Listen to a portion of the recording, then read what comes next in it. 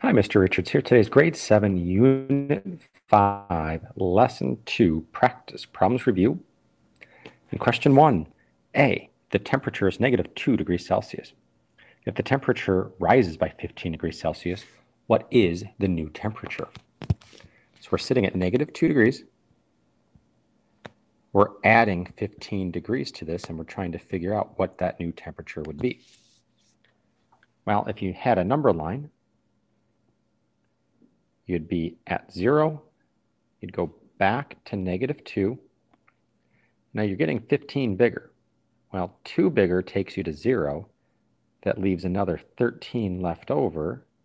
And so that's going to be 13 degrees here. At midnight, the temperature is negative 6 degrees Celsius. At midday, the temperature is 9 degrees Celsius. By how much did the temperature rise?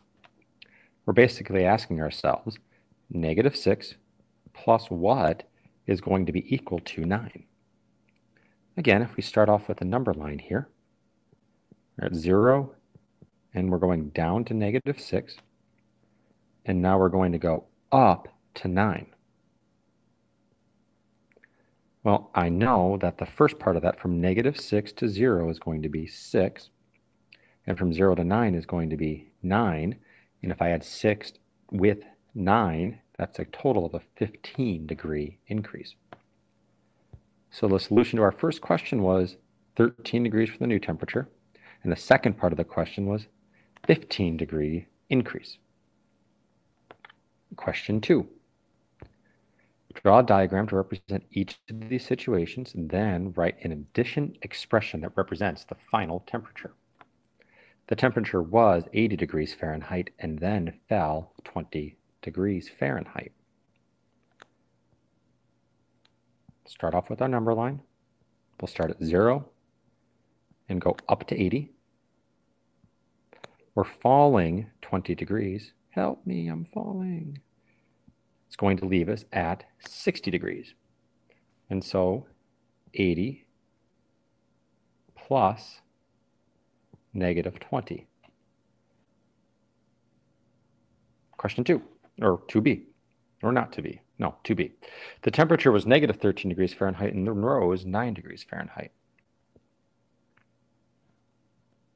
Well, in this case, we're going down to negative 13 degrees.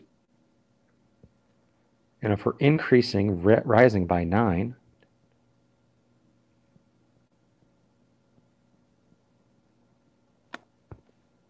that's going to put us now at negative 12, negative 11, negative 10, negative 9, negative 8, negative 7, negative 6, negative 5, negative 4. So we're at negative 4 here. which I think I counted right here. Count that again for us just to make sure. 1, 2, 3, 4, 5, 6, 7, 8, 9. That is going to put that right there. And so our answer here is negative 13 plus 9 is the addition expression. Lastly, now the temperature was negative 5 degrees, then fell 8 degrees. Well, we're at 0. We're going down to negative 5. And then we're falling 8 degrees. 1, 2, 3, 4, 5, 6, 7, 8. And that'd be negative 6, negative 7, negative 8, negative 9, negative 10, negative 11, negative 12, negative 13. And our expression would be negative 5 plus negative 8. Question 3. Complete each statement with a number that makes this statement true. It's a review from our first lesson of the unit. Well, what number can be smaller than 7 degrees? Well, how about 0? Degrees Celsius, I suppose. What number is smaller than negative 3 degrees Celsius? Basically, well, negative 4 degrees Celsius is smaller. Now in C, we're looking for a number that's in between negative 8 tenths of a degree and negative 1 tenth of a degree. Well, how about negative 1 half of a degree Celsius? Puts you in between. And something that's bigger than negative 2 degrees Celsius could be 0 degrees Celsius is definitely greater than negative 2 or any positive temperature, really. Decide whether each table could represent in question four a proportional relationship. If the relationship could be proportional, what would be the constant of proportionality? This is a review question. Wow. All right. Five buses, number of wheels, 30. Wheels per bus. The wheels on the bus go divide by 30, divided by 5 equals 6. So does 48 divided by 8.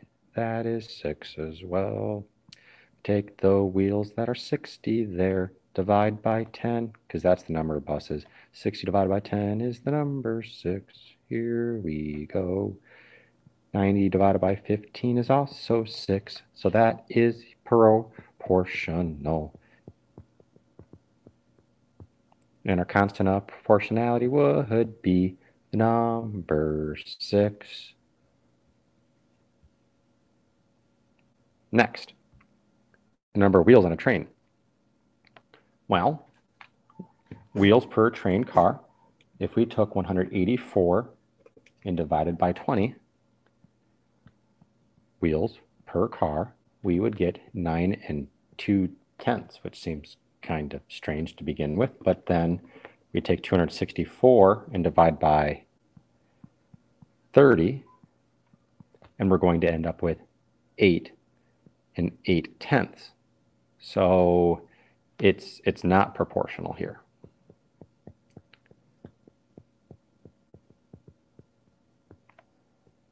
Once we look at the difference again. The wheels per bus stayed the same. It was a constant six. Whereas the number of wheels on the train, we could tell just from doing the first two, um, was not constant. And if you finish the question, 344 divided by 40 is 8 and 6 tenths and 424 divided by 50 is actually 8 and 4,800. So it's definitely not going to be the same.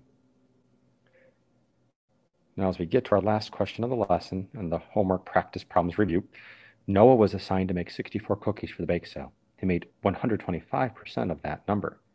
90% of the cookies were sold. How many of Noah's cookies were left after the bake sale? Let's first figure out how much he made. He made 125% of 64 looking for 64 times 125%, which we can represent by the decimal 1 and 25 hundredths. When we take 64 and multiply by, by 1 and 25 hundredths, we get 80 cookies. Then, 90% of the cookies he made were sold. How many were left? Well, if 90% were sold, that would mean 10% were left.